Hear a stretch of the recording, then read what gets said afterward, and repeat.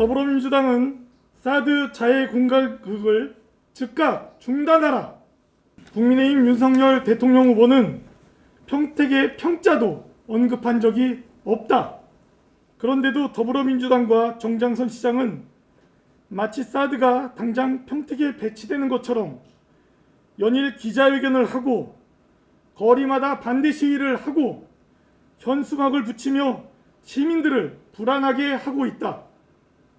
불량식품 같은 민주당식 삼류 정치를 즉각 중단하고 며칠 동안 불안을 조장한 것에 대해 시민들께 즉각 사죄하길 바란다.